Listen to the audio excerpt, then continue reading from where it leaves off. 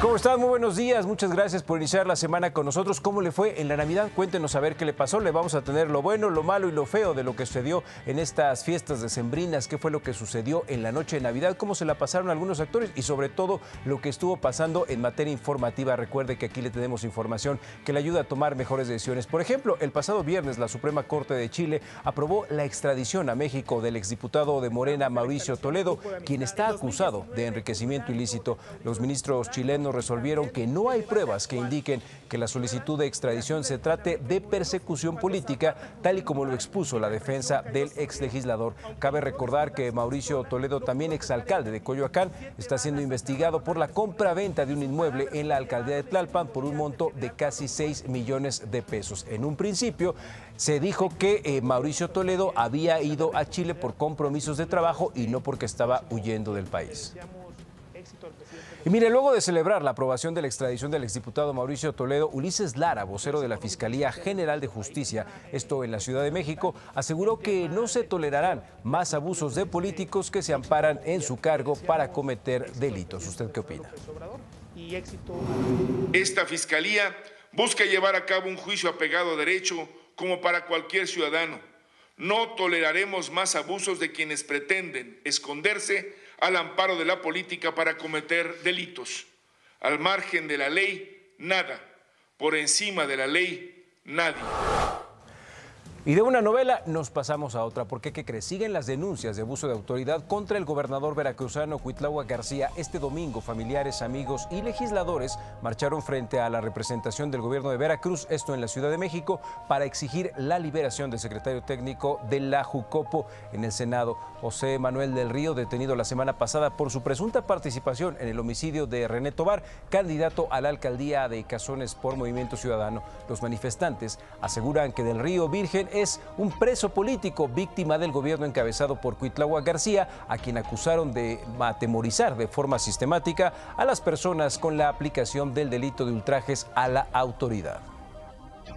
Y mire, hablando justo del gobernador morenista Cuitlao García y este delito de ultrajes a la autoridad, la semana pasada el coordinador de Morena en el Senado, Ricardo Monreal, se enfrascó en una guerra de declaraciones con el mandatario veracruzano. Esto es por su activismo en la liberación de seis jóvenes en Veracruz que estaban acusados de este mismo delito. Luego de esta confrontación, Monreal subió un video a sus redes sociales donde afirmó que no renunciará a su militancia en Morena, tal y como quisieran algunos de sus detractores. Así fue como lo dijo. Escuche. Nadie se enoje. No me voy a ir de Morena, sépanlo bien. Voy a luchar porque continúe la transformación que el presidente ha venido haciendo. No hay ninguna duda de mi lealtad a Morena durante todas estas épocas. Me voy a mantener en Morena porque creo en el movimiento. Y del conflicto de Veracruz-Monreal nos vamos al conflicto del Instituto Nacional Electoral. ¿Por qué? ¿Qué cree Morena y el gobierno federal por el tema de la revocación de mandato que han hecho luego de que el presidente de la Cámara de Diputados, Sergio Gutiérrez, quien, permanece, quien pertenece a Morena, presentara una denuncia penal contra los consejeros del INE que votaron a favor del aplazamiento de actividades de la revocación de mandato, los 11 consejeros del INE, a través de esta carta que está viendo en pantalla, calificaron la denuncia como un acto intimidatorio y de persecución que busca inhibir su independencia. Detallaron que los votos de un órgano colegiado son naturales y se deben de respetar ya que de esta forma se toman las decisiones y son parte del debate público. Y justo hablando de la revocación de mandato, este sábado concluyó el plazo de la recepción de firmas para su realización y se superaron las expectativas. Mire, tenían que juntar una cifra mínima de 2.758.227, lo que equivaldría al 3% de los ciudadanos inscritos en la lista nominal de electores. Y el INE contabilizó 9.900.000 firmas. Precisamente en el último día de la recepción, la organización que siga la democracia entregó 3 millones y bueno, ahora el INE tiene hasta el 3 de febrero para validar que todas estas eh, credenciales de elector sean falsas, que no haya personas desaparecidas o ya ve los muertos que tanto les encanta participar.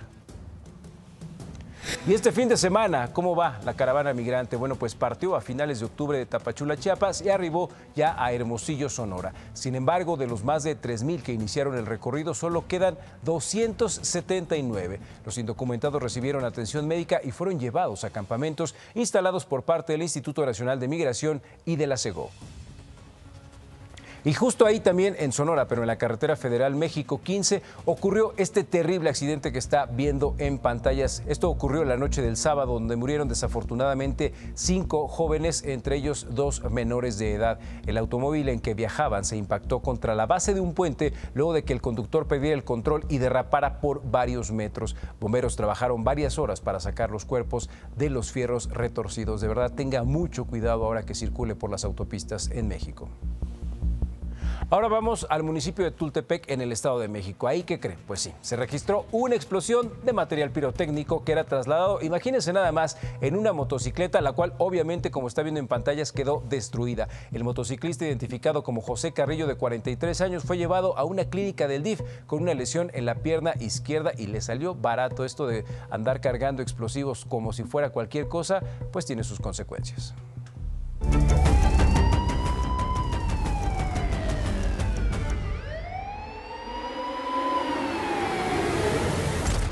¿Y qué pasó mientras usted descansaba? Le cuento que la noche de este domingo una riña en la alcaldía Coyoacán terminó con dos personas muertas. Aquí la crónica de lo sucedido. Fue en la esquina de la avenida Aztecas y la calle Rey Meconetzin en la colonia Jusco de la alcaldía Coyoacán, donde una riña provocó la movilización de la policía. La pelea que se registró la noche del domingo frente a un mini super de 24 horas ocasionó que salieran a reducir las armas de fuego, dejando como saldo a una mujer de 28 y un hombre de 30 años muertos y un lesionado. En la batea de una camioneta color blanco quedó el cuerpo sin vida de la mujer a consecuencia de dos impactos de bala en la cabeza, mientras los lesionados, dos hombres, fueron trasladados al hospital Joco, donde uno de ellos perdió la vida minutos después de haber ingresado a la sala de choque. Siete casquillos percutidos de un arma de grueso calibre fueron recolectados por los peritos para trasladarlos junto con el cuerpo al anfiteatro de la Coordinación Territorial Coyoacán 2, donde continuarán las investigaciones. Serán de vital importancia para dar con los responsables las imágenes de una cámara de videovigilancia de la Secretaría de Seguridad Ciudadana que se encuentra a pocos metros del lugar de los hechos. La camioneta fue trasladada al corralón de la alcaldía Coyoacán para los peritajes correspondientes por parte de las autoridades. Imagen. Y a propósito de esto, el presidente López Obrador lamentó la muerte de Desmond Tutu, Premio Nobel de la Paz y símbolo de la lucha contra el apartheid en Sudáfrica. A través de su cuenta en Twitter recordó que Tutu fue compañero de lucha de Nelson Mandela contra el racismo y recordó una de sus frases, si eres neutral en situaciones de injusticia, has elegido el lado del opresor. Beatriz Gutiérrez Müller, escritora y esposa del presidente López Obrador, también lamentó la muerte de Desmond Tutu. A través de su cuenta en Facebook y con un corazón lleno de gratitud, recordó que el Premio Nobel de la Paz fue un liberador inteligente y perseverante, un maestro lleno de amor al prójimo y deseó que descanse en paz. Y mire, en otra información le cuento que dos represas se rompieron este domingo al noreste de Brasil, amenazando con agravar las inundaciones en una zona donde miles de personas han tenido que abandonar sus viviendas debido a torrenciales lluvias. Gobiernos de dos municipios exhortaron a la población a buscar otros lugares seguros. Ah, ¿Cómo le fue a usted en los Reyes? Eh, pues no, los Reyes Magos no, en Santa Claus le trajeron todo lo que pedía o no. Aquí nos va a decir exactamente si le fue bien, si le fue mal, es más, qué comió, compártelo con nosotros, porque en esta última semana del año su eh, opinión sigue siendo muy importante. Y justo vamos a la pregunta, ante los casos eh, confirmados de Omicron en México, ¿usted va a salir de vacaciones? Las opciones son sí o no. Estamos esperando sus opiniones, díganos por qué sí saldría, por qué no saldría de vacaciones y aquí vamos a estar recibiendo todos sus comentarios. Un comedor comunitario para la gente en situación de calle, desempleados y adultos mayores. Regresando el corte comercial, le tenemos todos los detalles. Recuerde que está en Imagen Noticias con Francisco Sea. No se vaya, por favor. Ahorita regresamos.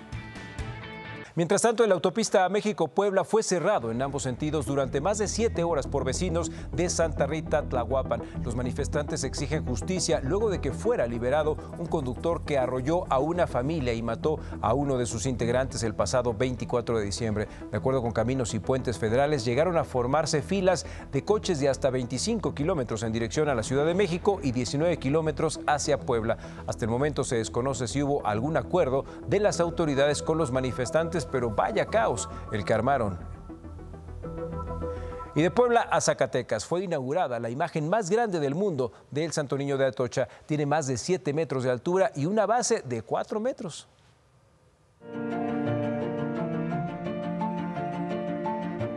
Que la bendición de Dios Todopoderoso, Padre, Hijo y Espíritu Santo, descienda sobre esta imagen y sobre ustedes y quienes han de venir aquí en peregrinación. Con estas palabras se dio la bendición religiosa para que formalmente la gigantesca escultura de 7 metros de altura del Santo Niño de Atocha, instalada en la comunidad de Plateros de Fresnillo en Zacatecas, pueda ser considerada como un lugar de oración.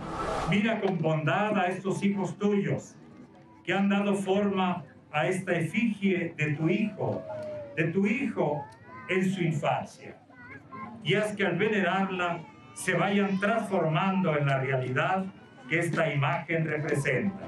Desde el primer día de la develación de esta imagen, han llegado devotos de todas partes del país. Y me admira la fe que tiene la gente de subir hasta acá, muchísima gente.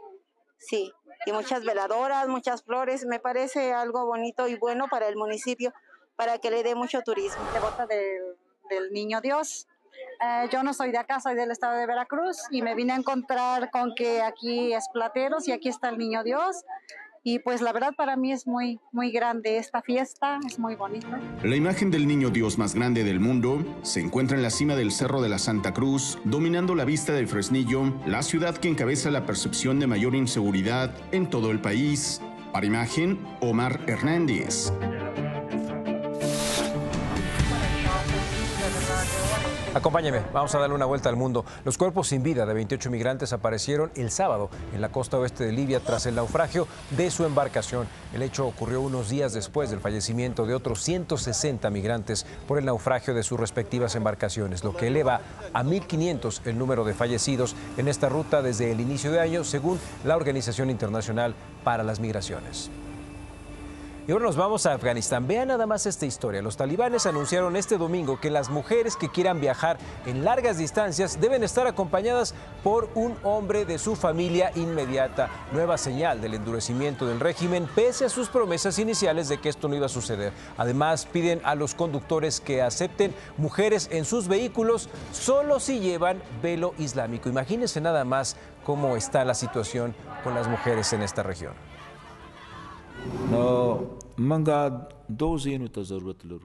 Necesitamos lo siguiente.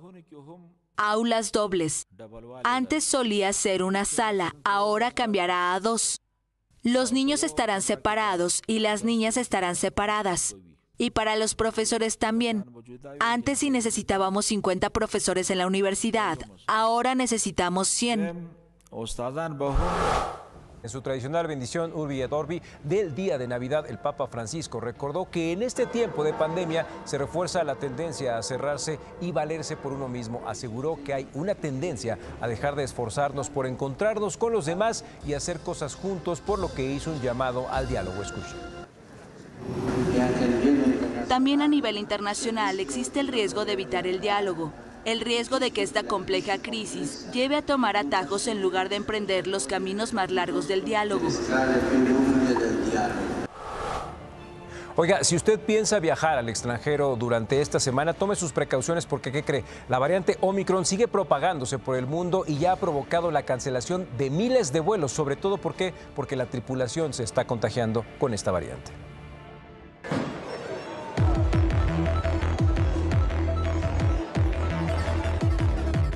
Más de 7.000 vuelos cancelados en el mundo por las compañías aéreas el fin de semana de Navidad.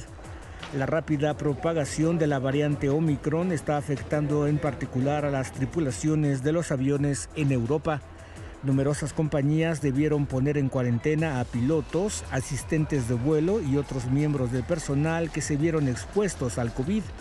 Por ese motivo, Lufthansa, Delta y United Airlines debieron cancelar vuelos. El continente europeo es la región con más casos, con más de 3 millones en los últimos 7 días, el 57% del total mundial, así como con la mayor cantidad de muertes, seguida por Estados Unidos y Canadá, con más de 1.400.500 nuevos contagios. Francia cruzó el umbral de los 100.000 nuevos casos de COVID-19 en 24 horas el sábado de Navidad, un número sin precedentes. Según el último informe del sitio web Flightware, hubo cerca de 2.000 cancelaciones de vuelos el domingo, de los cuales más de 570 fueron viajes relacionados con Estados Unidos, ya sean internacionales o internos.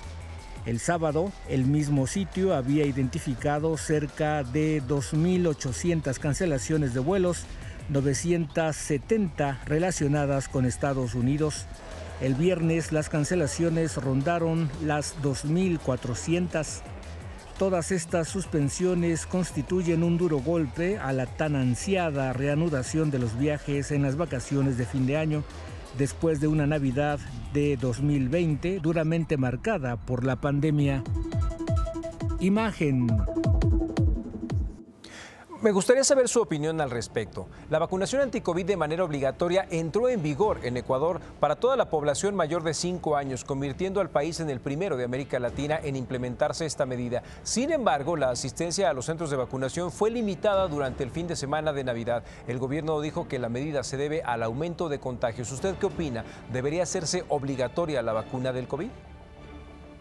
Pero bueno, mejor vamos a ver cómo avanza el coronavirus aquí en México. El viernes terminamos este programa con 3.943.764 casos confirmados de COVID en el país. Pasó el fin de semana y hoy, de acuerdo con los últimos datos reportados por la Secretaría de Salud, hay 3.951.003 casos acumulados, 7.239 casos entre viernes, sábado y domingo, bastantitos. Este fin de semana se sumaron 269 fallecimientos por el virus, así el número de muertes se eleva a 298.777. Recuerde que seguimos en la fase 3 de la contingencia sanitaria. Según la Secretaría de Salud en México, terminará el 2021 con 28 estados en verde, entre ellos la Ciudad de México. Sin embargo, el semáforo epidemiológico coloca a Aguascalientes, Baja California, Chihuahua y Sonora en color amarillo y recuerde que este semáforo estará vigente hasta el 9 de enero.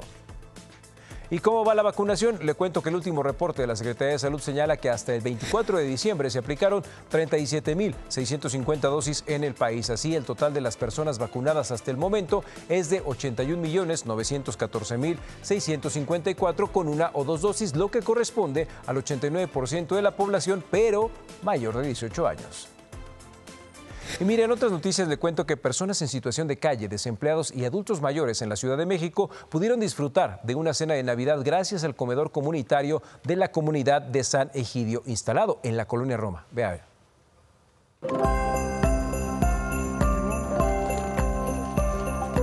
Aún con el frío de la mañana, personas de la tercera edad, en situación de calle o sin familia, se formaron afuera del número 18 de la calle de Jalapa el motivo, un desayuno de Navidad para mil personas ofrecidos por la comunidad de San Egidio es importante decir que es gente que vemos a lo largo del año, que consideramos nuestros amigos y que incluso algunos de ellos se han convertido en nuestra familia ya después de algunos años. Gente que vive por la calle, ancianitos solos, discapacitados, eh, migrantes, gente que, está sola y que a través de los servicios que brindamos a lo largo del año eh, los hemos conocido. Entonces, estos son nuestros invitados de honor hoy.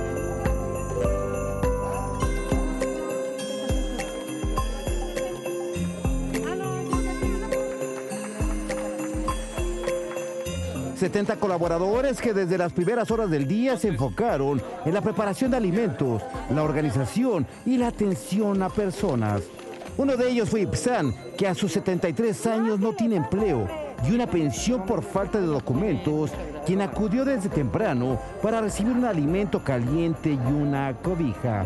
En realidad sí tengo a mi esposa que está ciega y acudo porque no tengo pues una pensión. Esa es la razón.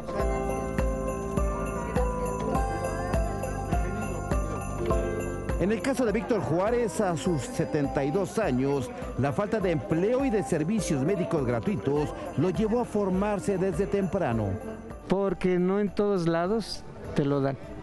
Y máxime aquí la asistencia, te digo, doctor, medicina, este oculista, eh, odontología también. Todo eso es gratis. ¿Dónde te lo dan? Y digo, bueno, por algo te dan asistencia de poder entrar a bañarte, ¿sí? Lunes y miércoles. Eh, martes y jueves es la asistencia con los doctores, ¿sí? Y esto les beneficia a muchísima gente que lo necesitamos. Este desayuno se ofreció paralelamente en Puebla, Guadalajara y 1500 ciudades del país. Para imagen, Raúl Flores Martínez.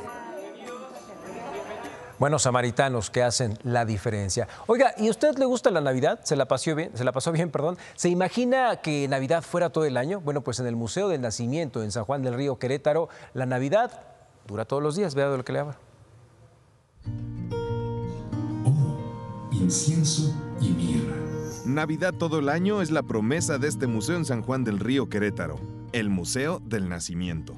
Ahí se exhiben más de 800 nacimientos de todos tamaños, formas, materiales y lugares de origen, los cuales forman parte de una colección que tomó más de 25 años conjuntar. Pues el museo tiene dos años que se inauguró, pero pues la colección tiene más de 25 años que, que comenzó.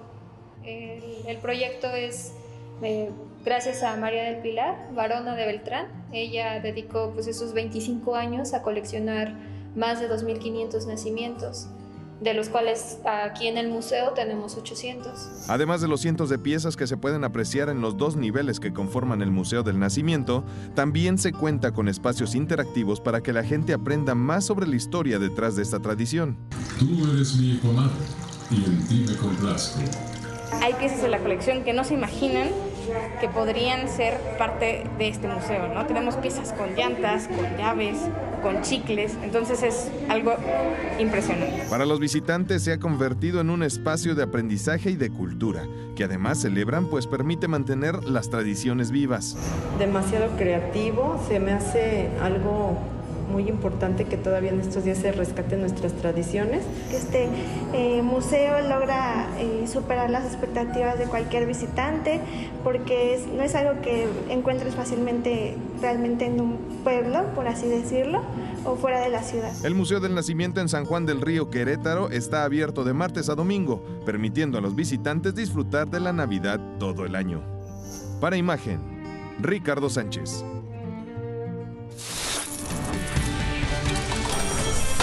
Y mientras vemos cuánto podría durar la Navidad, vamos a los dineros. El dólar 19 pesos con 96 centavos a la compra y 21 pesos con 23 centavos a la venta. El euro 21 pesos con 37 centavos a la compra y 24 pesos con 12 centavos a la venta.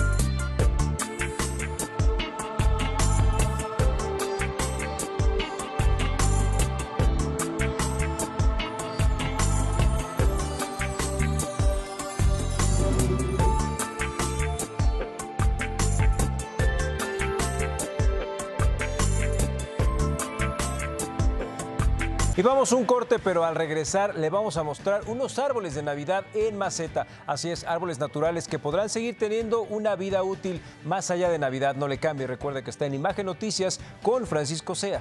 Ahorita regresamos. Oiga, ¿usted prefiere árboles naturales o artificiales? Es más, ¿ha pensado tener un árbol de Navidad en maceta? Pues en Querétaro hay opciones sustentables para esta época. El objetivo es que un árbol natural pueda seguir teniendo una vida útil más allá de Navidad.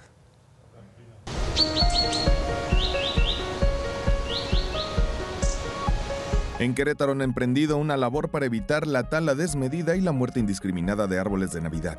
La adopción de árboles navideños en maceta. Empezó lo del proyecto de árboles de Navidad en maceta buscando una opción sustentable para los árboles de Navidad naturales, ¿no? que regularmente terminan pues o en tiraderos y en una mejor opción terminan en la composta o en aserraderos. La especie del árbol es Abeto pseudosuga, son árboles que ya por generaciones vienen este, pues ya adaptados o readaptados, o sea, son los mismos arbolitos que, que sacan las semillas y que ya tienen como este proceso pues bien este, sistematizado, por así decirlo, y toleran pues este tipo de extracciones. Se trata de árboles de plantaciones destinadas específicamente para este fin y pasada la temporada navideña son devueltos a tierra.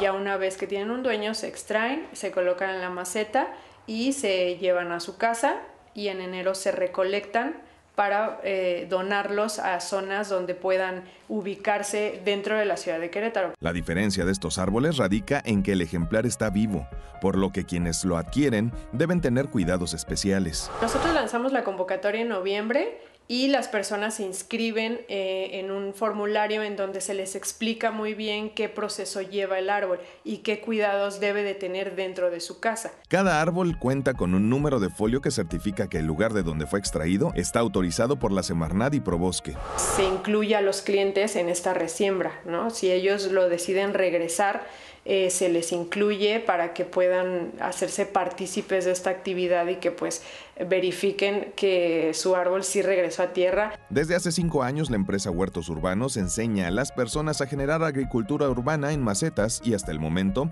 ha resembrado 526 árboles en áreas semiforestales aportando a la preservación ecológica de México y el mundo. Para imagen, Ricardo Sánchez. Fundación Ayu trabaja para erradicar la situación de pobreza y pobreza extrema en la Mixteca de Oaxaca, Puebla, Guerrero principalmente. Tiene presencia en más de 1.200 comunidades. Vean nada más. Soy Narcedalia Ramírez Pineda, vicepresidenta de una organización no gubernamental, Fundación Ayú, que desde hace 28 años nació para servir a las comunidades rurales e indígenas de la Mixteca de Oaxaca, de la montaña de Guerrero, de la Mixteca de Puebla. Y este proceso se ha ido contagiando de comunidad en comunidad y por consiguiente ha motivado a que muchas autoridades quieran sumarse y se han sumado de hecho a lo que como ONG hemos propuesto en, en territorio y en varias partes eh, pudimos ir incidiendo con acciones productivas. Hemos podido llevar muchos libros, mesabancos, pizarrones, los niños con becas que también procuramos aliados para que puedan seguir estudiando. Hemos llevado brigadas médicas, pudimos incidir también para la construcción de un poco más de 4.000 viviendas, teniendo presencia en más de 1.200 comunidades y eso ha permitido que se consoliden muchas estrategias productivas y no beneficios con asistencialismo, sino con apoyos que tengan que ver con crédito, con un subsidio sano, con capacitación y esto no tan solo es presencia, sino es participación. La misión de la Fundación Ayú es llegar a todas las comunidades rurales indígenas para poder incidir en el cambio, para que ellos sean partícipes y se, sienten, pues se sientan protagonistas de ese cambio que necesitamos como comunidad, región, estado, pero sobre todo país.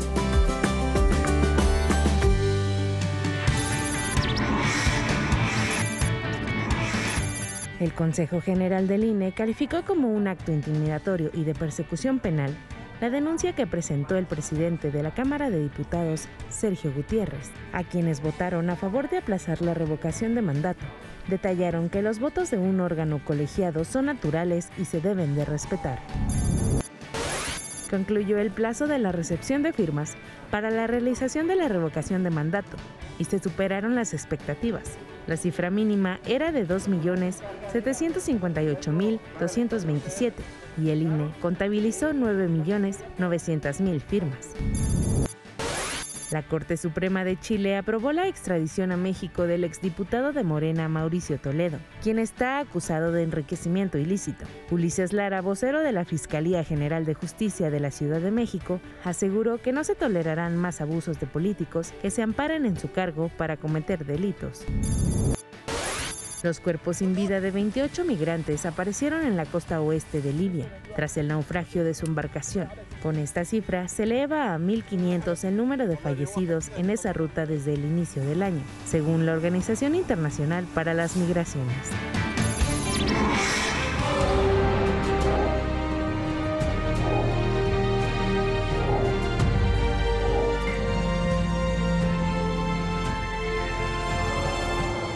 Está en marcha la temporada donde miles de tortugas golfinas arriban a las playas de Escobilla, esto en Oaxaca, para anidar en este ciclo de muchas veces que se ve interrumpido por los depredadores naturales y el hombre. Es la primera parte de este trabajo especial de Ernesto Méndez.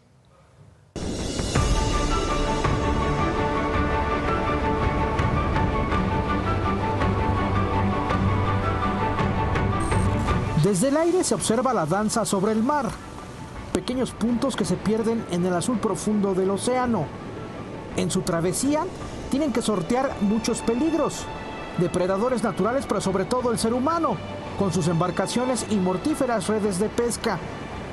Ya en la playa, por cientos, por miles, se van abriendo paso sobre la arena. Unas van, otras vienen, algunas son lentas, otras más cadenciosas. Ninguna huella es igual. Se trata de la séptima arribada masiva en el santuario más importante del mundo. Después de alcanzar su madurez sexual, las tortugas golfinas regresan justo aquí, a la playa donde nacieron, la Escobilla, en el estado de Oaxaca. La magia de la vida. El GPS interno de las golfinas las trae de vuelta a donde rompieron el cascarón para cerrar el círculo y volver a comenzar el ciclo. Presentan pues un comportamiento muy peculiar cuando nacen, van reconociendo, ¿no? Por eso es muy importante cuando hay liberaciones este, dejar que las crías caminen sobre la playa para poder reconocer el, tamaño del grano de la arena, eh, la magnetita que presenta, la humedad, todo eso es importante para que ellas puedan volver a, ese sitio. En esta ocasión, una nidada de más de 290 mil ejemplares de tortuga golfina en 6 kilómetros de playa. La mayor parte arribaron en tan solo tres días en lugar de seis o siete días como regularmente sucede. Eh, para la temporada está dentro de los parámetros normales. Lo que ha sido sorprendente es que, ha sido, eh, pues que esta nidación se ha dado en dos días nada más, en tres días prácticamente. Un millón de nidadas en promedio por temporada en la escobilla, de 95 a 100 huevos en cada nido. Lo que pasa aquí repercute en la población mundial de la tortuga golfina. Son tantas las hembras y los nidos que solo entre el 10 y 15% de los huevos logran eclosionar.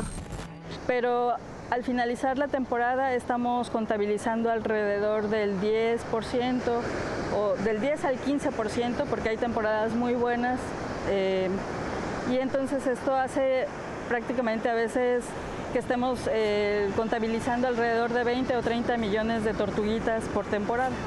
Costa Salvaje apoya a la Comisión Nacional de Áreas Naturales Protegidas con personal técnico para el monitoreo de los nidos, recorridos en playa, marcaje de nidadas y programas de educación ambiental como es la Brigada de Atención Comunitaria al Turismo. Que nos apoyen a atender a los visitantes y demostrarles o enseñarles cómo es visitar una playa de anidación masiva, ¿no? cómo es una arribada y lo importante que, que es cuidarlas y proteger a estas tortugas. El objetivo, que los visitantes tomen conciencia y respeten la magia de los santuarios.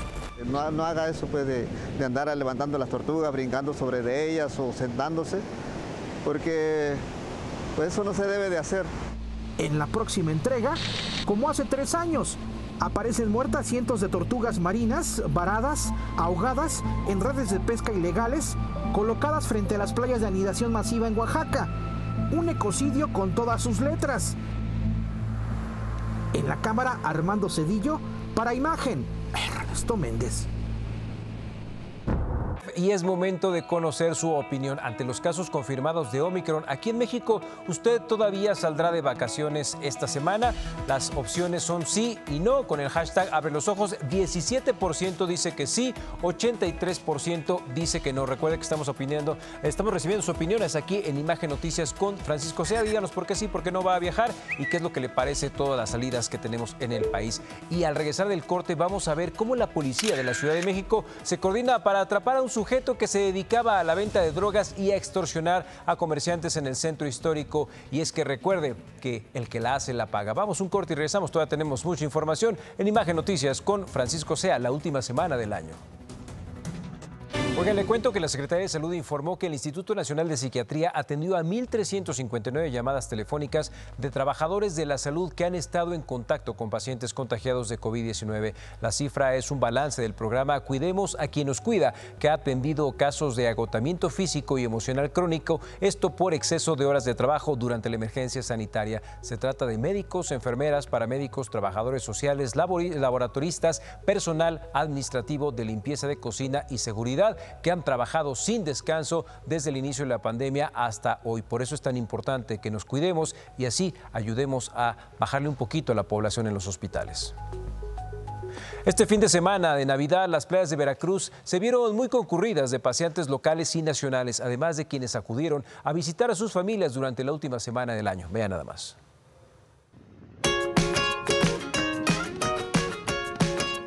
Así lucieron las playas del puerto de Veracruz y su zona conurbada este fin de semana. Muchos visitantes viajaron para reunirse con sus seres queridos, con quienes no pudieron compartir estas fechas el año pasado. Dijimos hay que quedar un giro totalmente diferente, aprovechar que ya estamos en semáforo verde y disfrutar ahora de, las playas. Aparte de que, bueno, en la Ciudad de México ya tenemos o se contó con la mayoría del tercer refuerzo y pues hoy estamos, estamos bien. Decidimos venir a visitar ahorita a la familia después de la pandemia, que tratamos de venir el año pasado, pero no se pudo por lo mismo de la pandemia. Y ahora este año que ya se pudo, pues aprovechamos para venir a visitarlo. Muy difícil, pero ahorita gracias a Dios estamos aquí todos reunidos visitando Veracruz es muy bello. La presencia en el mundo de la variante Omicron no desalentó a los visitantes que se sienten protegidos con la vacuna contra el COVID-19. Ya la pandemia ya pasó y ya estamos vacunados, entonces sí nos cuidamos las medidas que establece el gobierno. Lo de la pandemia, bueno, ahorita vemos que ya hay varios establecimientos también abiertos y todo, y pues también tratamos como de tener nuestras precauciones, venir un ratito y ya irnos rápido para nuestras casas.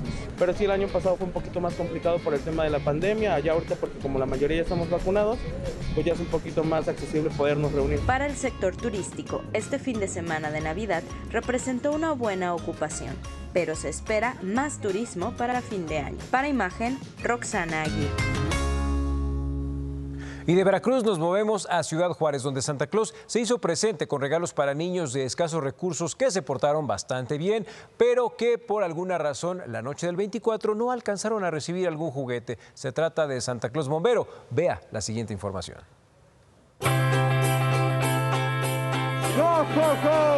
¡Feliz Navidad! Así es como inició la entrega de juguetes El Santa Bombero en Ciudad Juárez a niños de escasos recursos.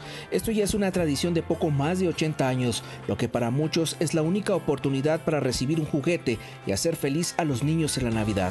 Mucha alegría para mí también ver la ilusión de los niños al ver al Santo Claus y al recibir ese juguete, esa sonrisa que se dibuja en la cara de los niños, este, el cual pues queremos agradecer a toda la ciudadanía una larga fila se formó desde dos días antes de la entrega. Muchas familias no lograron costear un regalo debido a que perdieron sus empleos a causa de la pandemia o el sueldo no les alcanza. Es por eso que recurren a la ayuda del Santa Bombero. Porque nosotros pues no tenemos modo de regalarles algo y cada Navidad con la bendición de Dios venimos y aquí les dan su regalo. La emoción de recibir un regalo sea lo que sea es bueno. En la pandemia que pues pues todo está escaso de ahí, las posibilidades de, encontrar, pues, este, de poder comprarle, pues, por los gastos que, que representan estas fechas. El objetivo es pintar una sonrisa a cada niño y este año se logró la meta. Más de 35 mil juguetes fueron donados por la comunidad fronteriza, lo que agradecen los que ahora tienen un regalo que les cambió el día. Por la felicidad, porque pues te hace feliz estar recibiendo un regalo de otras personas porque no, no teníamos para, los regalos. La entrega se dio mediante las medidas sanitarias para evitar contagios de COVID-19, ya que se trató de un evento masivo bajo el espíritu navideño. En Ciudad Juárez para Imagen, Salvador Gómez.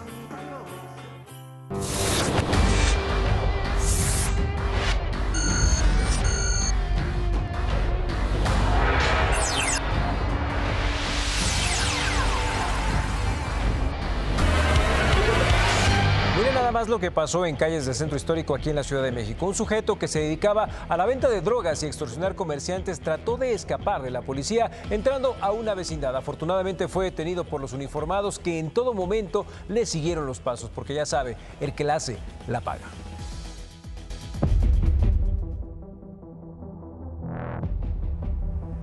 Es el interior de una vecindad del centro histórico de Ciudad de México, un lugar que pareciera normal, pero que en realidad es utilizado de manera frecuente como refugio o ruta de escape de sujetos que se dedican a las extorsiones y a la venta de droga en esta zona de la capital del país. Y estas son imágenes que lo confirman. El hombre que va corriendo se dedica precisamente al tráfico de drogas y así buscó esconderse dentro del lugar. Todo sucedió hace unos días en estas calles del centro de la ciudad. Es República de Perú, un lugar en el que diariamente acuden centenares de personas para realizar todo tipo de compras.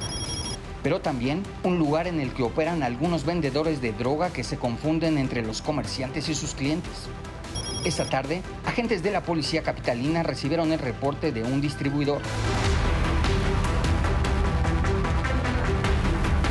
Somos agentes del sector centro. Además de brindar seguridad a la ciudadanía, atendemos denuncias por venta de droga. Por lo que ese día recibimos una denuncia de un sujeto que se encontraba vendiendo marihuana sobre la calle de Perú, dándonos características y ubicación de dicho sujeto.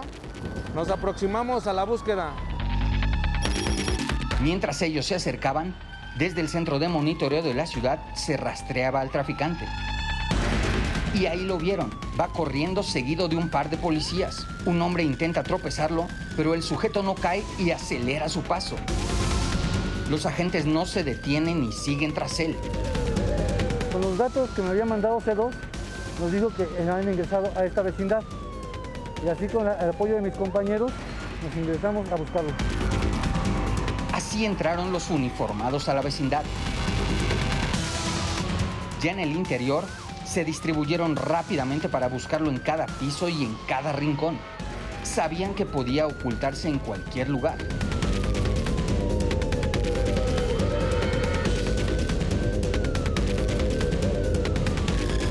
Subieron a todos los niveles para buscarlo, pero no lograban alcanzarlo. Y es que el sujeto conocía perfectamente por dónde podía escapar. Luego de subir por todos estos pisos, este hombre llegó hasta aquí es la parte alta de esta vecindad. Pensaba que podría escapar de los agentes de la policía. Sin embargo, los uniformados llegaron hasta aquí para perseguirlo. Al verse cercado, decidió correr en aquella dirección, subir hacia esa parte alta y tratar de escapar por el edificio aledaño. Por un instante le perdieron la pista. No sabían que había llegado hasta aquí y salido por estos pasillos. Pero el centro de monitoreo de la ciudad volvió a encontrarlo. Ahí va caminando de manera tranquila, estos agentes recibieron la indicación de que era la persona que buscaban y fueron por él.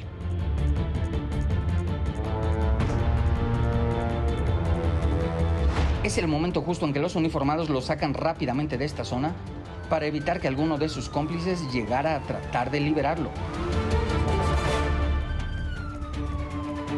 Luego de esta persecución, los agentes de la policía capitalina finalmente detuvieron a este sujeto. Al momento de su captura aseguró que lo estaban confundiendo, pues según él, solo era un comerciante de la zona. La realidad es que de nada le sirvió su mentira. Si usted lo reconoce, denuncie. Se trata de Mario Axel H. de 18 años.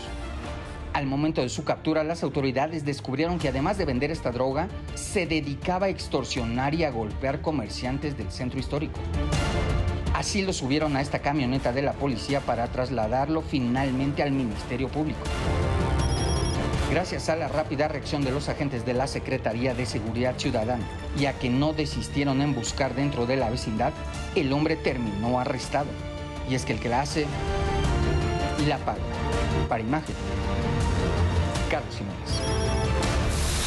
Oiga, vamos a las calles de la Ciudad de México con mi compañero Ricardo Vitela. Ricardo, ¿cómo estás? Buenos días, ¿qué nos tienes?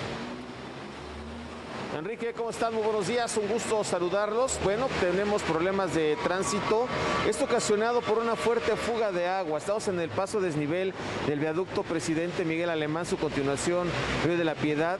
Eh, al cruce con calzada de Tlalpan. Esto todavía es perímetro de la alcaldía de Benito Juárez. Los asentamientos tras este encharcamiento de consideración, Enrique, aquí en este bajo puente, ya se ven desde la zona de José María Vértiz, esto con dirección hacia la zona aeroportuaria. Las personas que a temprana hora van a transitar por este punto, tomen como alternativa y es sugerida la zona del eje 4 Sur Xola porque los asentamientos son importantes. Ya personal de tránsito de la Secretaría de Seguridad Ciudadana y el Cuerpo de Bomberos están tratando de hacer lo conducente más el tránsito, en agilizar la vialidad porque únicamente hay un solo carril, pero los bomberos lo que están tratando de hacer es destapar las coladeras porque esta agua, mi estimado Enrique, al parecer está saliendo de una fractura de lo que sería la zona de una tubería que está en el entubado del viaducto. Esto es lo que está generando este enorme charcamiento que hasta la fecha pues no han podido quitarlo y están viendo la manera de desasolvar las coladeras porque tanta basura que la gente a veces tira en este punto pues ocasiona tapar este tipo de, registros y así no se puede ir el agua. Esto es lo que tenemos hasta el momento esta mañana fría en la Ciudad de México, mi estimado Enrique, así que les reiteramos tomar como alternativa el eje 4 Sur Xola, su continuación Plutarco, quienes van hacia la zona eh, oriente de la capital, ya que los asentamientos son de consideración por este encharcamiento, Enrique.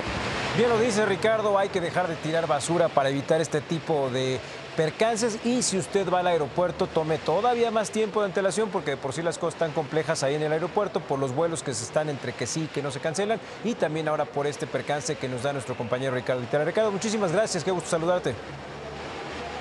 Igualmente, Enrique, un abrazo, muy buenos días y continuamos aquí con ustedes. Un abrazo fuerte, Ricardo Vitela, desde las calles de la Ciudad de México.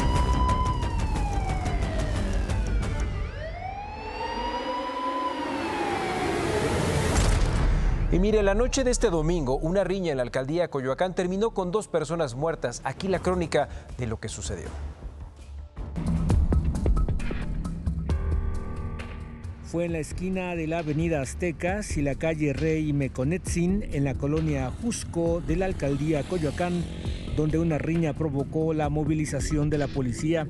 La pelea que se registró la noche del domingo frente a un mini super de 24 horas ocasionó que salieran a reducir las armas de fuego, dejando como saldo a una mujer de 28 y un hombre de 30 años muertos y un lesionado.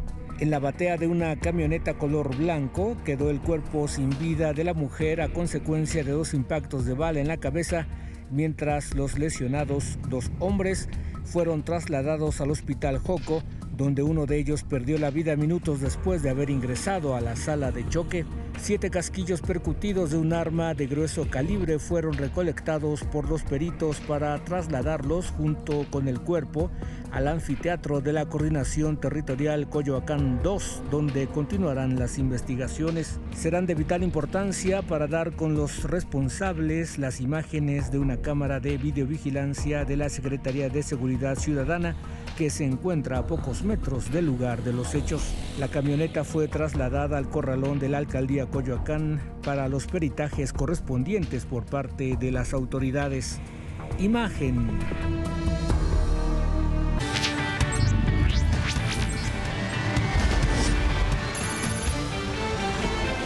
Vamos a la segunda hora de información. Muchísimas gracias por acompañarnos. Son las 7 de la mañana y recuerde que Imagen Noticias con Fresco Sea le estará llevando toda esta semana las noticias que le ayudarán a tomar mejores decisiones. Mire, el pasado viernes la Corte Suprema de Chile aprobó la extradición a México del exdiputado de Morena Mauricio Toledo, quien está acusado de enriquecimiento ilícito. Los ministros chilenos resolvieron que no hay pruebas que indiquen que la solicitud de extradición se trate de persecución política, tal y como lo expuso la defensa del ex legislador. Cabe recordar que Mauricio Toledo, también exalcalde de Coyoacán, está siendo investigado por la compra-venta de un inmueble en la alcaldía Tlalpan por un monto de casi 6 millones de pesos. Y luego de celebrar la aprobación de la extradición del exdiputado Mauricio Toledo, Ulises Lara, vocero de la Fiscalía General de Justicia aquí en la Ciudad de México, aseguró que no se tolerarán más abusos de políticos que se amparan a su cargo para cometer delitos. Esta Fiscalía busca llevar a cabo un juicio apegado a derecho como para cualquier ciudadano. No toleraremos más abusos de quienes pretenden esconderse al amparo de la política para cometer delitos. Al margen de la ley, nada. Por encima de la ley, nadie. Y ahora nos vamos a la novela veracruzana porque siguen las denuncias de abuso de autoridad contra el gobernador veracruzano Cuitlagua García. Este domingo familiares, amigos y legisladores marcharon frente a la representación del gobierno de Veracruz aquí en la Ciudad de México para exigir la liberación del secretario técnico de la Jucopo en el Senado, José Manuel del Río, detenido la semana pasada por su presunta participación en el homicidio de René Tobar, candidato a la alcaldía de Cazones por Movimiento Ciudadano. Los manifestantes aseguran que del Río es un preso político víctima del gobierno encabezado por Cuitlagua García, a quien acusaron de atemorizar de forma sistemática a las personas con la aplicación del delito de ultrajes a la autoridad. Y justo hablando del gobernador morenista Cuitlao García y de este delito de ultrajes a la autoridad, la semana pasada también el coordinador de Morena en el Senado, Ricardo Monreal, se enfrascó en una guerra de declaraciones con el mandatario veracruzano por su activismo en la liberación de seis jóvenes en Veracruz que estaban acusados justo por este mismo delito. Luego de esta confrontación, Monreal subió un video a sus redes sociales donde afirmó que no renunciará a su militancia en Morena, tal y como quisieran algunos de sus detractores. Así fue como lo dijo. Nadie se enoje. No me voy a ir de Morena, sépanlo bien. Voy a luchar porque continúe la transformación que el presidente ha venido haciendo. No hay ninguna duda de mi lealtad a Morena durante todas estas épocas. Me voy a mantener en Morena porque creo en el movimiento a ver qué pasan llegando las presidenciales. Y bueno, ahora nos cambiamos de novela, vamos al conflicto entre el Instituto Nacional Electoral y Morena y el gobierno federal, que por este, están por el tema de la revocación de mandato, luego de que el presidente de la Cámara de Diputados, Sergio Gutiérrez, quien pertenece a Morena, presentara una denuncia penal contra los consejeros del INE que votaron a favor del aplazamiento de actividades de la revocación de mandato. Los 11 consejeros del INE, a través de una carta, calificaron la denuncia como un acto intimidatorio y de persecución que busca inhibir su independencia detallaron que los votos de un órgano colegiado son naturales y se pueden respetar, ya que de esta forma se toman las decisiones y son parte del debate público. Y justo hablando de esta revocación de mandato, déjeme le cuento que el sábado concluyó el plazo de la recepción de firmas para su realización y la superaron con expectativas. La cifra mínima era de 2.758.227, lo que equivaldría al 3% de los ciudadanos inscritos en la lista nominal de electores. Y el INE ya contabilizó 9.900.000 firmas. Precisamente en el último día de recepción, la organización que siga la democracia entregó 3 millones. Ahora el INE tiene hasta el 3 de febrero para validar estas firmas. Y mire, le cuento que este fin de semana la caravana migrante que partió a finales de octubre de Tapachula, Chiapas, arribó a Hermosillo, Sonora. Sin embargo, de los más de 3.000 que iniciaron el recorrido, ¿sabe cuántos quedan? 279. El resto seguramente han quedado repartidos en la República Mexicana. Los indocumentados recibieron atención médica y fueron llevados a campamentos instalados por parte del Instituto Nacional de Migración y de la CEGOV. Y aquí ahora nos vamos a Sonora. En la carretera federal México 15 ocurrió este terrible accidente. La noche del sábado, donde murieron desafortunadamente cinco jóvenes, entre ellos dos menores de edad. El automóvil en el que viajaban se impactó contra la base de un puente luego de que el conductor perdiera el control y derrapara por varios metros. Bomberos trabajaron varias horas para sacar los cuerpos de los fierros retorcidos. Y mire, tenga mucho cuidado con la pirotecnia, porque vea lo que pasó ahora en el municipio de Tultepec, en el Estado de México. Ahí se registró una explosión de material pirotécnico que era trasladado en una motocicleta, la cual quedó completamente destruida. El motociclista identificado como José Carrillo, de 43 años, fue llevado a una clínica del DIF con una lesión en la pierna izquierda. Y justo en este tema, el presidente López Obrador lamentó la muerte de Desmond Tutu, premio Nobel de la Paz y símbolo de la lucha contra el apartheid en Sudáfrica. A través de su cuenta de Twitter recordó que Tutu fue compañero de lucha de Nelson Mandela contra el racismo y recordó una de sus frases, si eres neutral en situaciones de injusticia, has elegido el lado del opresor. Beatriz Gutiérrez Müller, escritora y esposa del presidente López Obrador, también lamentó la muerte de Desmond Tutu. A través de su cuenta en Facebook y con un corazón lleno de gratitud, recordó que el Premio Nobel de la Paz fue un liberador inteligente y perseverante, un maestro lleno de amor al prójimo y deseó que descanse en paz.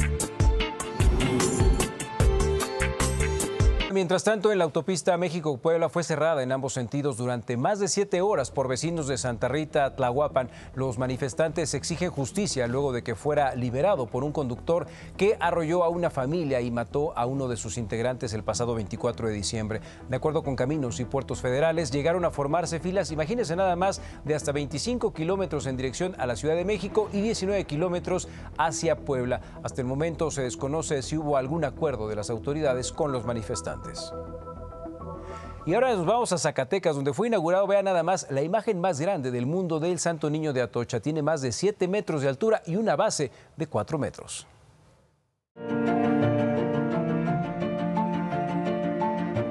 Que la bendición de Dios Todopoderoso, Padre, Hijo y Espíritu Santo, descienda sobre esta imagen y sobre ustedes y quienes han de venir aquí en peregrinación. Con estas palabras se dio la bendición religiosa para que formalmente la gigantesca escultura de 7 metros de altura del Santo Niño de Atocha, instalada en la comunidad de Plateros de Fresnillo en Zacatecas, pueda ser considerada como un lugar de oración. Mira con bondad a estos hijos tuyos que han dado forma a esta efigie de tu hijo, de tu hijo en su infancia y haz que al venerarla se vayan transformando en la realidad que esta imagen representa. Desde el primer día de la develación de esta imagen, han llegado devotos de todas partes del país. Y me admira la fe que tiene la gente de subir hasta acá, muchísima gente, sí, y muchas veladoras, muchas flores, me parece algo bonito y bueno para el municipio, para que le dé mucho turismo. Devota del, del Niño Dios, eh, yo no soy de acá, soy del estado de Veracruz y me vine a encontrar con que aquí es Plateros y aquí está el Niño Dios. Y pues la verdad para mí es muy, muy grande esta fiesta, es muy bonito. La imagen del Niño Dios más grande del mundo se encuentra en la cima del Cerro de la Santa Cruz, dominando la vista de Fresnillo, la ciudad que encabeza la percepción de mayor inseguridad en todo el país. Para imagen, Omar Hernández.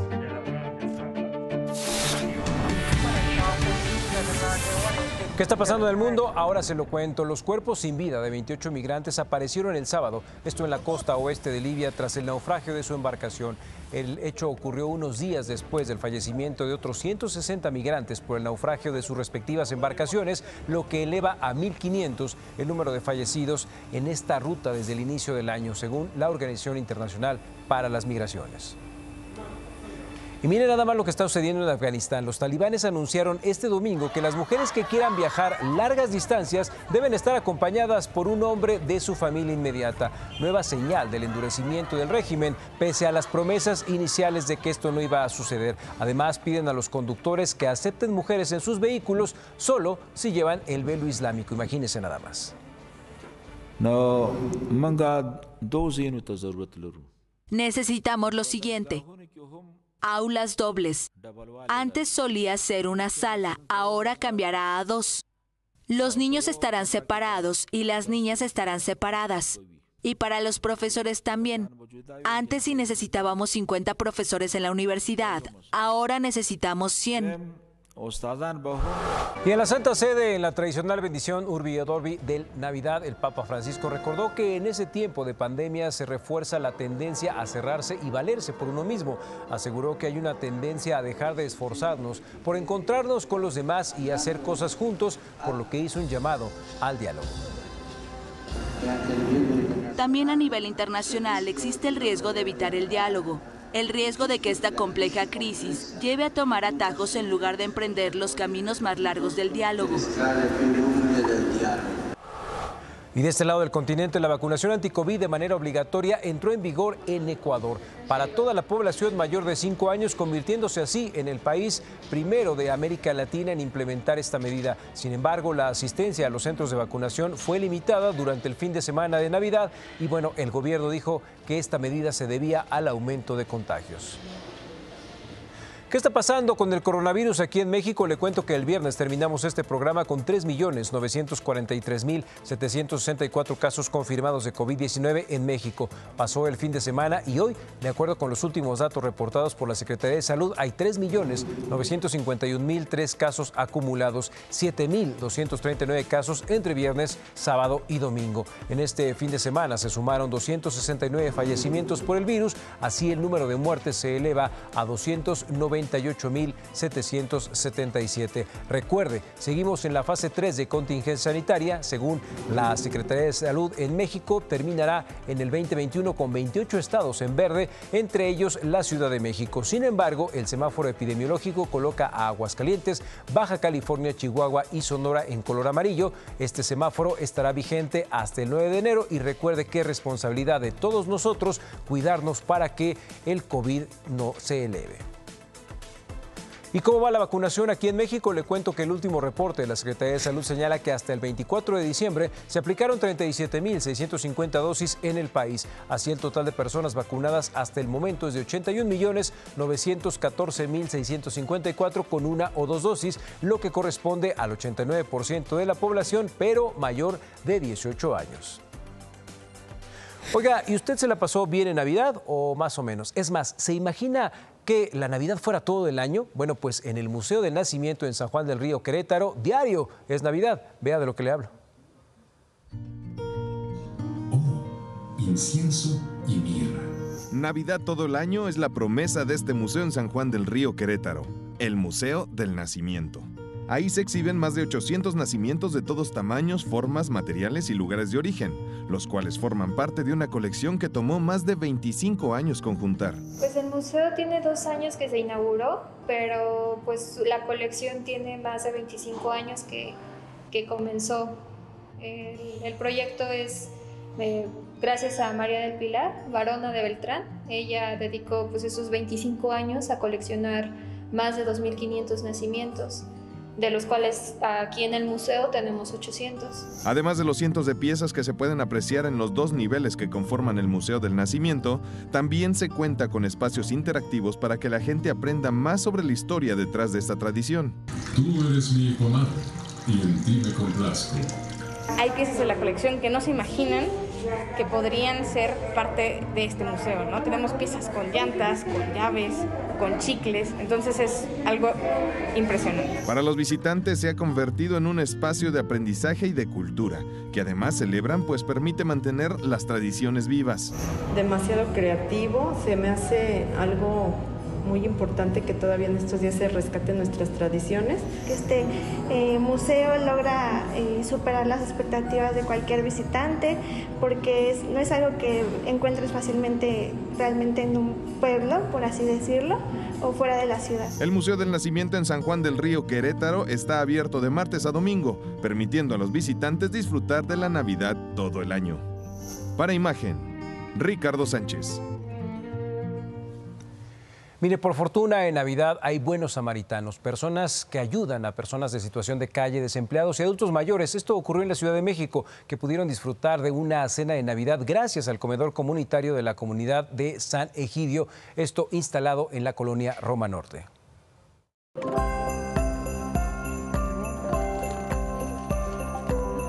Con el frío de la mañana, personas de la tercera edad, en situación de calle o sin familia, se formaron afuera del número 18 de la calle de Jalapa. El motivo, un desayuno de Navidad para mil personas ofrecidos por la comunidad de San Egidio es importante decir que es gente que vemos a lo largo del año, que consideramos nuestros amigos y que incluso algunos de ellos se han convertido en nuestra familia ya después de algunos años. Gente que vive por la calle, ancianitos solos, discapacitados, eh, migrantes, gente que, está sola y que a través de los servicios que brindamos a lo largo del año eh, los hemos conocido. Entonces, estos son nuestros invitados de honor hoy.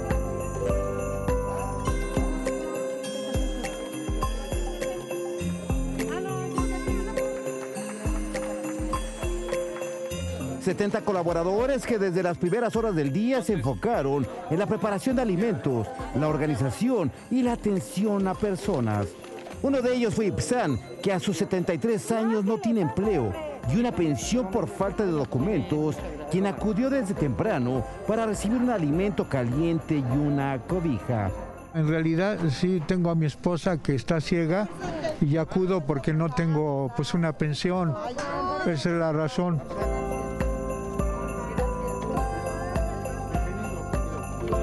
En el caso de Víctor Juárez, a sus 72 años, la falta de empleo y de servicios médicos gratuitos lo llevó a formarse desde temprano. Porque no en todos lados te lo dan. Y máxime aquí la asistencia, te digo, doctor, medicina, este oculista, eh, odontología también. Todo eso es gratis. ¿Dónde te lo dan? Y digo, bueno, por algo te dan asistencia de poder entrar a bañarte, ¿sí? Lunes y miércoles.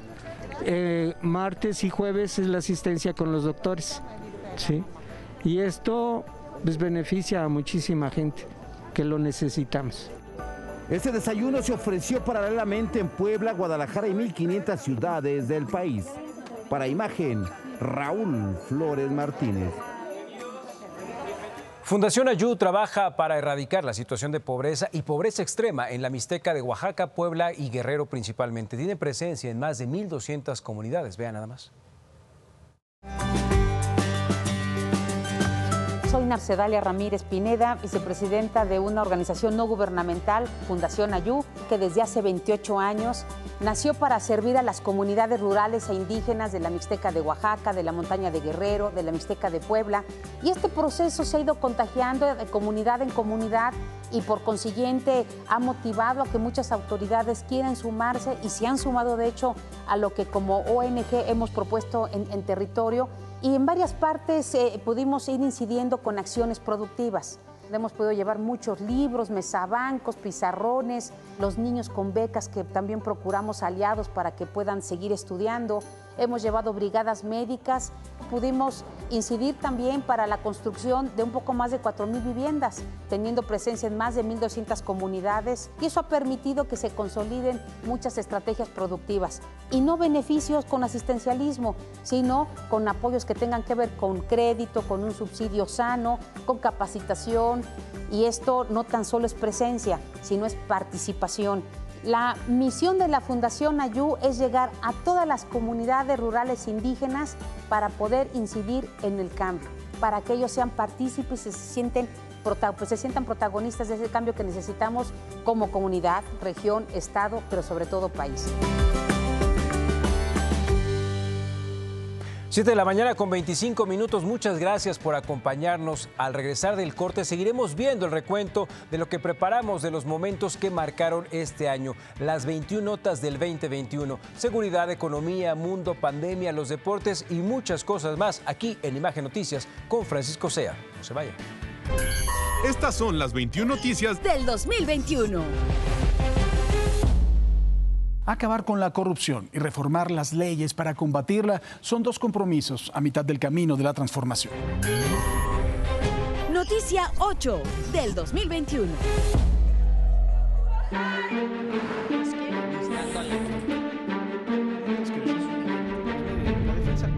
Emilio Lozoya, Jorge Luis Lavalle, Rosario Robles, Genaro García Luna, César Duarte, Tomás Cerón, son los nombres y apellidos que en este 2021 se volvieron símbolo en la compleja batalla legal de este país.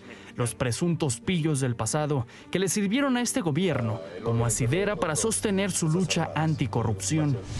Lozoya, el otrora todopoderoso señor de Pemex, pasó de cenar lujosamente en el Hunan a desayunar huevos con jamón, tortillas y café negro en el reclusorio norte, su celda, un cubo de 240 por 240.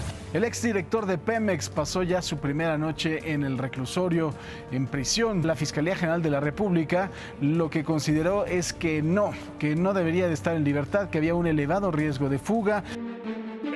Las investigaciones por las causas que le acusan por los casos agronitrogenados y Odebrecht ya cerraron los pasados 13 y 17 de diciembre. Están corriendo los 15 días que tiene la Fiscalía General de la República para emitir sus acusaciones formales. El primero en caer por las acusaciones de Lozoya en su calidad de colaborador protegido fue el ex senador panista Jorge Luis Lavalle. En abril, un juez determinó que debería quedarse en prisión para responder por los delitos de operaciones con recursos de procedencia ilícita, asociación delictuosa y cohecho por presuntamente recibir sobornos de Lozoya para aprobar la reforma energética en 2013. Vamos con otro de los símbolos. Rosario N, pues otra vez se quedó en el bote. La ex titular de Cedesol va a continuar el proceso tras las rejas en la cárcel de Santa Marta por el delito de ejercicio indebido del servicio público. El juez de control determinó mantener la medida cautelar de prisión tras argumentar que existe un alto riesgo de fuga si se le concede prisión domiciliaria. Eso fue el 20 de octubre y esto se decía desde Palacio Nacional. No tengo nada en contra de la ley.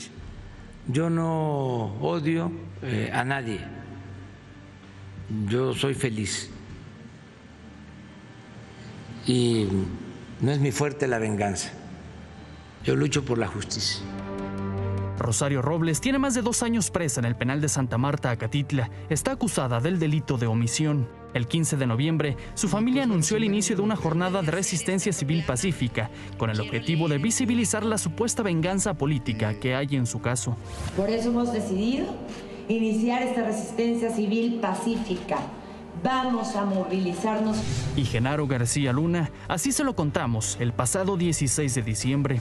Ayer se llevó a cabo la primera audiencia presencial del exsecretario de Seguridad Pública, Genaro García Luna, en la Corte Federal de Brooklyn y se declaró inocente, mientras que su abogado César Castro aseguró que en los millones de documentos que les han entregado los fiscales no hay ninguna prueba que vincule a García Luna con el cártel de Sinaloa. A principios de noviembre, una jueza de Florida aceptó la extradición a México del exgobernador de Chihuahua, César Duarte.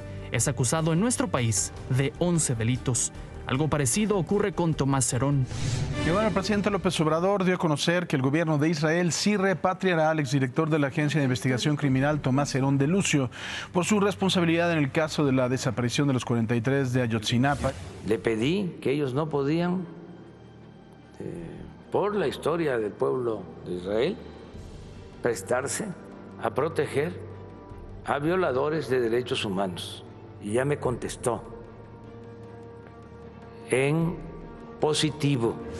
A finales de octubre, estos casos se cruzaron con un fallo de la Corte. El presidente López Obrador criticó a los magistrados por declarar inconstitucional la prisión preventiva oficiosa en delitos como la defraudación fiscal y uso de facturas falsas.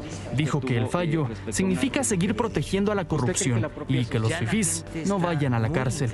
Pero la Corte defendió su veredicto. Ese no fue el único tema en el que la Suprema Corte acaparó las miradas del debate público. Fue un año muy activo y controvertido. Uno de los primeros fierros que se puso sobre la lumbre en el año fue el de la ampliación del mandato del ministro Arturo Saldívar al frente de la Suprema Corte. Ese antojo salió desde el Senado y fue respaldado en el Ejecutivo. A principios de agosto, el ministro Saldívar lo dejó claro. Concluiré mi mandato como presidente de la Suprema Corte de Justicia de la Nación el 31 de diciembre de 2022, cuando termina el periodo para el cual fui electo por mis compañeros y compañeras ministros. Otro asunto que sacudió al Poder Judicial fue la renovación del Tribunal Electoral. En agosto tuvo una atropellada renovación de su magistrado presidente, que finalmente encontró causas institucionales. Parece que se acabó la polémica sobre el nombramiento del magistrado presidente del Tribunal Electoral Federal. Ayer, en sesión privada, todos los magistrados votaron por unanimidad a favor de que Reyes Rodríguez Mondragón sea el nuevo presidente del tribunal. El cargo es hasta octubre del 2024, por lo que Reyes Rodríguez será presidente del Tribunal Electoral en las próximas elecciones presidenciales. Dos grandes temas, de esos que dividen las opiniones, se abordaron y resolvieron en la Corte, marihuana y aborto. A finales de junio vino la luz verde muy verde. Hay buenas noticias para los amantes de la marihuana y es que ayer la Suprema Corte de Justicia de la Nación declaró inconstitucional la prohibición del uso lúdico y recreativo de la cannabis, por lo que se deberán eliminar los artículos de la Ley General de Salud que precisamente la prohibían. Ahora será la Comisión Federal de Protección contra Riesgos Sanitarios quien concederá los permisos individuales a mayores de 18 años para la adquisición, siembra, cultivo, cosecha, preparación, posesión y transporte, es decir, falta mucho todavía en este camino, es solo un paso el que se dio ayer. Nombres y rostros que legitiman el discurso de los pillos que fueron polémicos pero inaplazables debates en el ámbito jurídico, signos que marcaron el año, el ritmo de lo público y que escriben un borrador de la historia. Estas son las 21 noticias del 2021. Así las noticias de este 2021. Recuerde que durante toda la semana tendremos el conteo final de los momentos que marcaron este año. Es más, ¿qué le ha parecido el 2021? ¿Ya quiere que se acabe o está orgulloso de lo que se dio en él? Bueno, pero mientras esto pasa, es momento de ir a las calles de la Ciudad de México. Está con nosotros Atalo Mata. Atalo, ¿cómo estás? Buenos días, buena mañana. ¿Dónde te encuentras? Hola, ¿qué tal Enrique? Muy buenos días para todos. Excelente inicio de semana, ya casi para finalizar el año. Pues estamos hoy aquí en el Metro Chabacano. Ya sabes que aquí hay confluencia de varias correspondencias, pero aquí la noticia, y mira qué importante lo que está haciendo el sistema de transporte colectivo Metro, que está modernizando los sistemas de las escaleras eléctricas. De hecho, se han eh, cambiado, se han inaugurado ya recientemente nos muestra parte de, estas instalaciones Saúl García. Se han inaugurado cinco escaleras en cuatro estaciones. Déjame decirte que estas cinco nuevas escaleras eléctricas ya suman con estas 34 equipos nuevos, los que están en servicio de un paquete de 46 adquiridos en esta presente administración. Nuevas escaleras que se ubican en Miscuac, de la línea 7, una en Santa Anita, la línea 4, una en Miguel Ángel de Quevedo, que es la línea 3, una más en Chabacano, de la línea 9 en beneficio de, según nos dicen aquí en el metro, 83 mil usuarios diarios que se movilizan en estas cuatro estaciones. Déjame decirte que, eh, pues te voy a presentar adelante, por favor, ya estamos aquí estorbando, pero bueno, pasen, por favor. Estas son las nuevas escaleras eléctricas. Muy buenos días, señorita.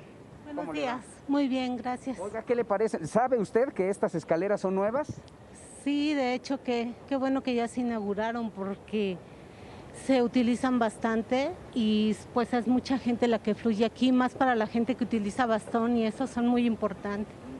Déjame decirte, Enrique, que es importante que la gente se familiarice porque hemos visto que luego no, no eh, son como eh, muy vistas todavía, la gente como que se saca de onda porque pues no había escaleras hace poco aquí.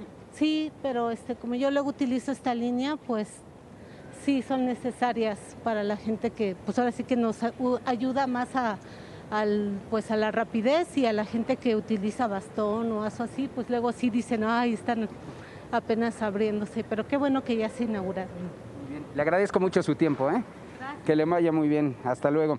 Bueno, y aquí mientras vemos el funcionamiento de este equipo, déjame decirte que con los cinco nuevos equipos, o sea, las cinco escaleras nuevas, Enrique, que tuvieron un costo de 29.5 millones de pesos en promedio, el avance del programa de modernización de escaleras eléctricas representa un 74% y favorece la movilidad de 10 millones de usuarios al mes. Es lo que estamos viendo, precisamente vemos poca gente, pero si vemos, por ejemplo, del otro lado, Saúl, pues es eh, el regreso hacia la, gente que viene, digamos, a trabajar o eh, con destino hacia el centro de la Ciudad de México. Entonces, pues eh, de ese lado sí hay mucha gente que utiliza esa escalera que ya servía desde hace tiempo. Pero esta, por ejemplo, pues las nuevas, todavía hay personas que no se animan a utilizarlas porque no saben si ya están en completo funcionamiento. La inversión total para la instalación de los 46 equipos es de 270 millones de pesos y el avance de inversión actual en los 34 equipos en funcionamiento es de 71.8%, equivalente a 194 millones de pesos. Vamos a acercarnos aquí con alguna otra. Muy buenos días. Hola, buenos días. ¿Su nombre, por favor, amigo? Uriel. Uriel, ¿qué le parecen estas escaleras este, que pues no había antes y ahora pues ya están apoyando mucho al usuario, no? Sí, pues muy, muy bien. Me parece que me parece buena idea que el gobierno esté invirtiendo en este tipo de, acciones porque sí hay mucha gente que, que la requiere, sobre todo la gente de la tercera edad. Exactamente. ¿Qué tan importante es eh, tener unas escaleras? No solo también para las personas de la tercera edad, sino cuando uno lleva mucha prisa, pues a veces hay gente que sí prefiere bajarse por las otras, ¿no? Sí, sí, sí, pero bueno, yo creo que la gente debería tener conciencia y, cuidarlas, cuidarlas. Pero sí hay veces que, este, que es necesario que, haya este tipo de acciones para que haya más eh, movilidad en la, en la ciudad. ¿Te ha tocado ver en algún momento otras escaleras nuevas? Porque sabemos que hay otras, le estábamos informando a la gente, que hay otras que se inauguraron también hace poco. Sí, sí, en otras estaciones me ha tocado también ver.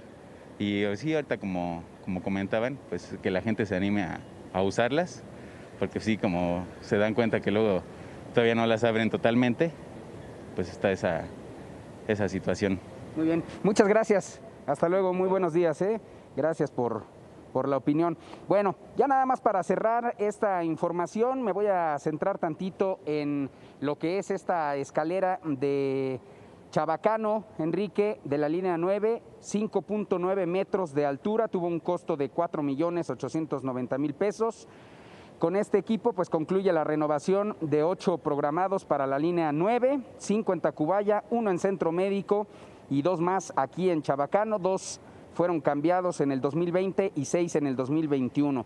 Así que bueno, la gente pues ya está eh, dándose cuenta de que eh, estas escaleras se pueden utilizar en su beneficio y pues esto le ayuda a la movilidad, como decía el joven que entrevistamos hace un momento, sobre todo para las personas de la tercera edad que tienen que hacer grandes recorridos en estos pasillos. Por ejemplo, de aquí de estas estaciones que son muy largas como la Chabacano en donde nos encontramos. Dices, los que tenemos la gran ventaja de poder caminar y poder subir escaleras y bajar sin importar si son eléctricas o no, a veces perdemos la dimensión de lo valiosos que son estos instrumentos para muchas de las personas de la tercera edad o quien anda con muletas en un transporte que si bien no ha sido su año, se está tratando de modernizar para darnos a todos los capitalinos el mejor servicio. Y bueno, ya lo vimos, algunos usuarios hasta para perrear utilizan las escaleras ahí. sí, así pasa luego, pero ¿sabes qué?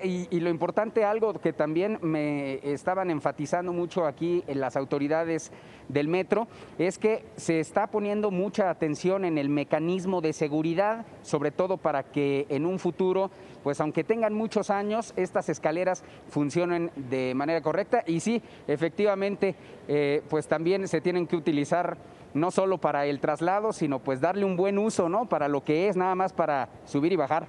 Y bueno, ¿sabes qué? También aquí cabe la pena aclarar, uno de los grandes problemas que tienen las escaleras eléctricas y por las cuales tienen que estarlas componiendo, ¿sabes por qué es? No, no, no sé si lo sabías o no me lo vas a creer, porque mucha gente se orina en las escaleras. Gran parte de lo que pues, daña la maquinaria justamente es eso. Imagínense nada más, esto nos lo acaba de dar algunos del personal de mantenimiento del metro durante el año. Es impensable que las personas hagan eso. Y bueno, también, ya que estás hablando de la velocidad y de la prisa que llevan algunas personas, ojalá apliquemos lo que hacen los ingleses de subir las escaleras, pero pegarnos al lado derecho si vamos con calma. ¿Para qué? Para que en el lado izquierdo puedan ir corriendo todas las personas que lleven prisa.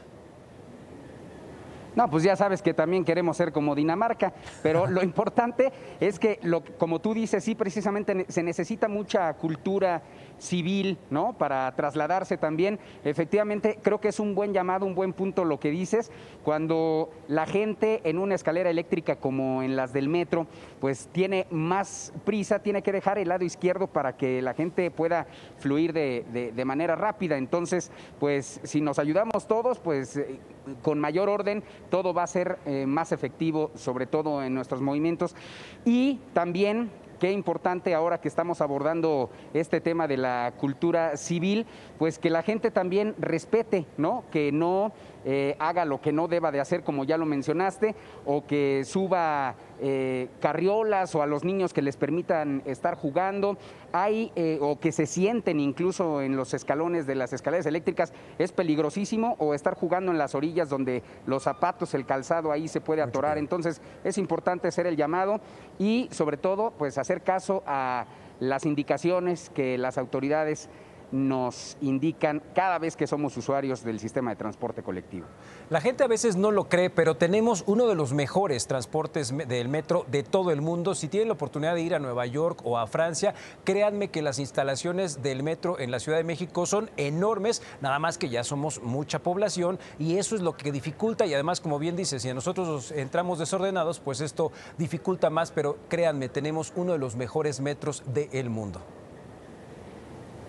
Sí, y yo te puedo mostrar, le voy a pedir a Saúl nada más que dé un paneo para que vea el número de indicaciones que hay aquí en el metro. A veces no, eh, pues nosotros mismos como usuarios queremos como echarle la culpa a la falta de señalamientos y todo eso. Aquí difícilmente te puedes perder y claramente podemos ver que lo que necesitamos es cultura y respeto hacia los demás, ¿no?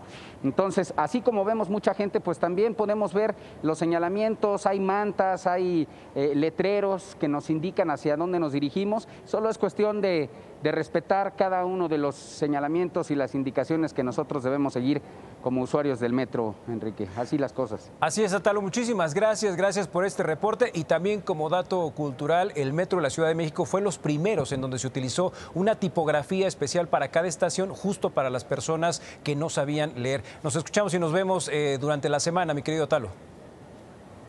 Claro que sí, Enrique. Un abrazo fuerte y bonita semana. Y ahora vamos a los deportes con Stephanie Fuentes. La Fiscalía General del Estado de Michoacán emitió una ficha de desaparición de Alexis Cervantes, jugador de los Libertadores de Querétaro de la Liga Nacional de Baloncesto Profesional, que fue visto por última vez el pasado 21 de diciembre tras participar en un torneo local en el municipio de Los Reyes, Michoacán. El joven atleta perdió contacto con su familia, según lo detalló después la propia Fiscalía. Lo último que se supo de él es que abordó un autobús con destino a Guadalajara, Jalisco, para después tomar uno en dirección a Guasave, Sinaloa. Y regresamos a las calles de la Ciudad de México con mi compañero Ricardo Vitela, que nos tiene un nuevo reporte. Ricardo, ¿cómo estás? Buena mañana.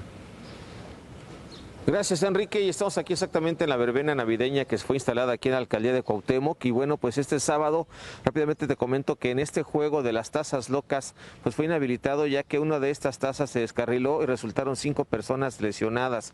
Tras esta situación, bueno, pues personal de la Secretaría General Integral de Riesgos y de Protección Civil del Gobierno de la Ciudad vino a hacer la revisión de estos juegos y este pues vio anomalías que no presentan las medidas de seguridad tras este lamentable suceso. Y bueno, pues ya fue inhabilitado, ya pusieron los sellos y también hicieron la revisión de todos los juegos que se encuentran en este punto alrededor de la alcaldía, mi estimado Enrique, y verificaron que pues se encuentran en buenas condiciones, aunque las imágenes en algunos de estos juegos pues eh, no se ven así, mi estimado Enrique, así que las personas que vengan a esta verbena, pues vengan con mucho cuidado, verifiquen que las cosas se encuentren bien, que los juegos estén funcionando de manera correcta, porque pues lamentablemente cinco personas resultaron lesionadas, mi estimado Enrique, tras este descarrilamiento en estos juegos de verbenas aquí en la capital del país. Esta es la información que tenemos y continuamos al pendiente en las calles de la Ciudad de México. Ricardo, muchísimas gracias por este reporte y ojalá las autoridades hagan estas revisiones antes de que se inauguren los Juegos. Muchísimas gracias, gracias por acompañarnos. Recuerde que esta semana estaremos terminando con usted el año. Muchísimas gracias, Steph. Muchas gracias, gracias a disfrutar la última semana. En Imagen Noticias con Francisco Sea, muy buena mañana.